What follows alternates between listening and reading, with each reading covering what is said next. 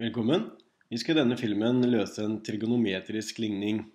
Det er ikke noen ny teori vi skal gå gjennom, men vi baserer oss på de trigonometriske sammenhengene vi har sett på tidligere. La oss se på en trigonometrisk ligning. Vi tenker oss at 2 ganget med sinus x minus 1 er lik 0.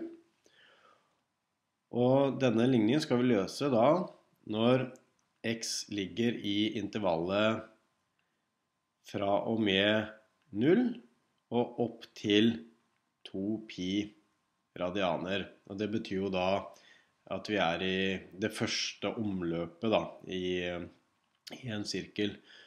Og vi ser også at eh, definisjonsmengden her er oppgitt i enheten eh, radianer, og da, da, løser vi også hele ligningen i radianer. Hadde det stått grader her, så ville det vært naturlig å jobbe med, med, grader. Denne ligningen løser vi egentlig på vanlig måte. Vi tar, flytter ett tall over, slik at vi får 2 ganger sinus x er lik 1. Så kan vi også dele opp med 2 på begge sider, slik at vi da får at sinus til x er lik en halv. Og her kan det være greit å tegne en enhetssirkel, bare sånn for å hjelpe seg. Fordi det vi husker, da, er at eh, hvis sinus til x er en, en halv, da, da, er det jo denne y-verdien her vi, vi, ser på. Og da husker vi kanskje at eh, da var det jo faktisk eh, to vinkler som ga den samme verdien. Vi har en løsning her, vi har en løsning her. Og det er faktisk både den vinkelen her Oi.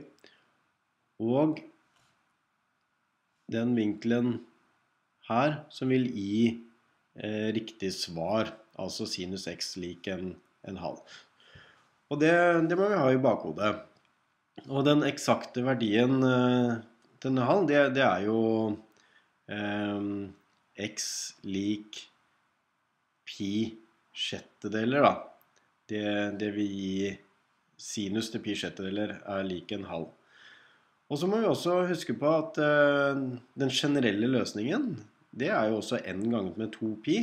Vi vil få den samme løsningen når vi har gått en runde til, og enda en runde, og enda en runde. Så n ganget med 2 pi vil også gi samme løsningen.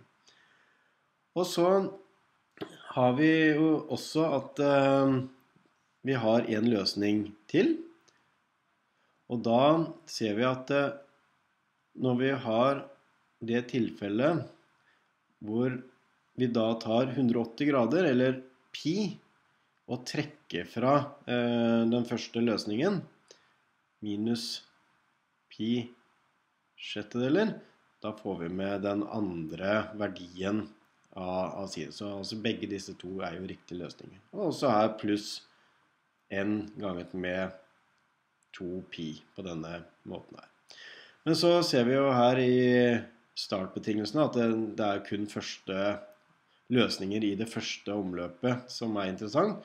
Derfor slipper vi å tenke på de her i den spesielle løsningen. Og vi har at eh, løsningsmengden til denne ligningen her, den vil da være pi sjettedeler og pi minus pi sjettedeler, altså 5 pi sjettedeler.